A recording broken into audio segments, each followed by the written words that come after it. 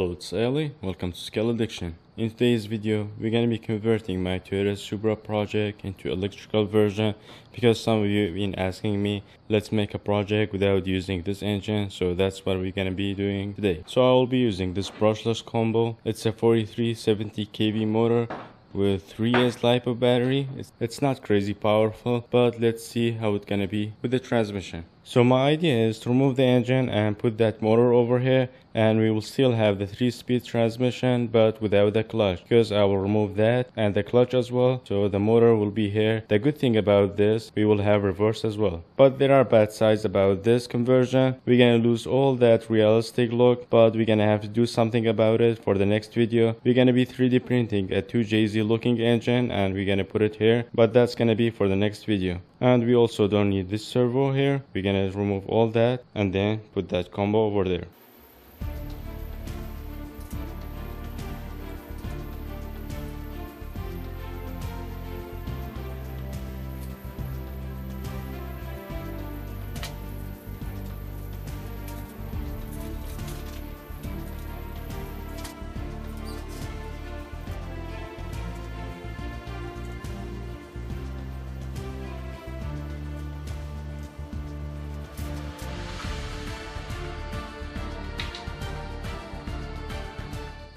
Alright, I just removed the engine and all the electronics for the engine and also the servo for the throttle, clutch, the servo for the clutch and also the transmission. Now we're gonna put the motor on the transmission and put it back over there and it's already feeling lighter. You can see the front is lifting and I have to adjust the shocks again.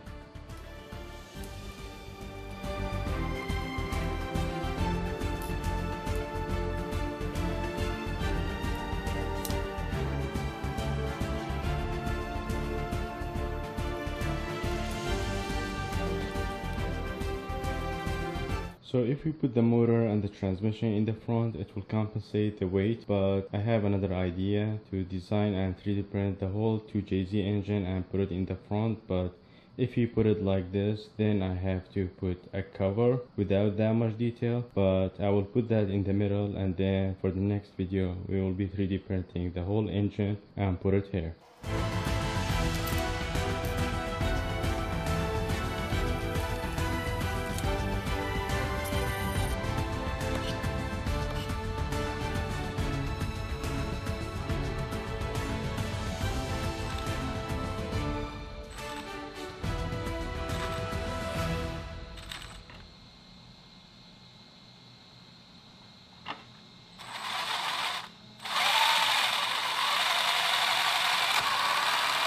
This video is sponsored by PCBWay.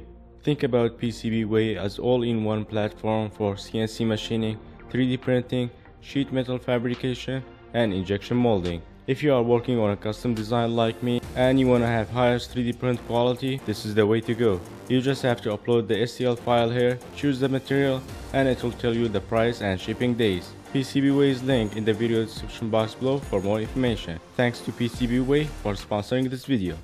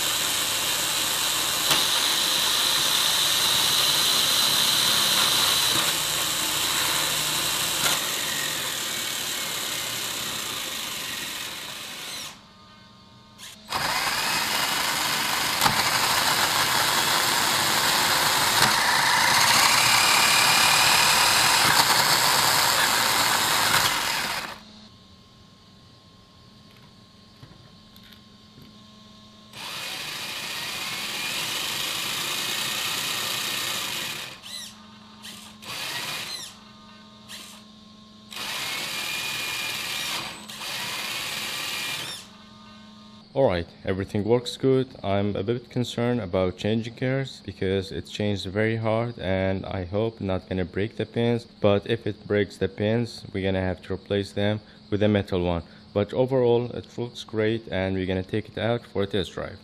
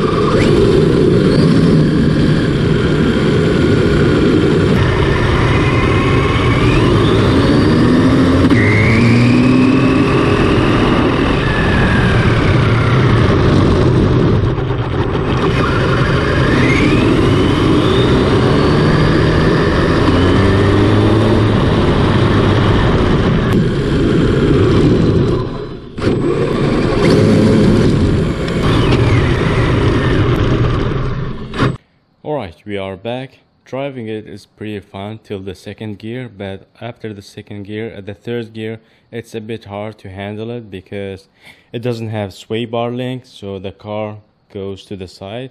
That's why I couldn't go above that. I will be designing sway bar link for the front and the back and then we will take it on a road and test it for the top speed. But for now, we're gonna put the door and the hood on and then we're done.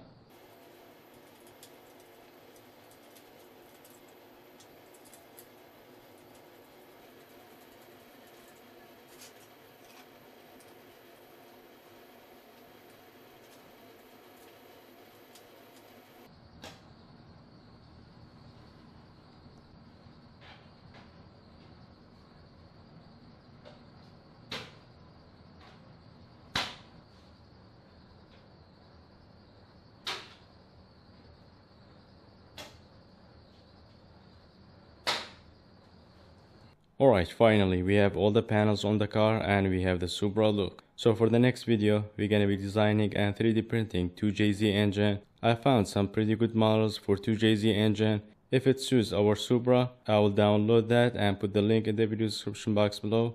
Otherwise, I have to modify it or design my own. So that's for this video. Hope you guys enjoying the project as I do. If you do, like and subscribe if you haven't already. And I will see you in the next one. Bye for now.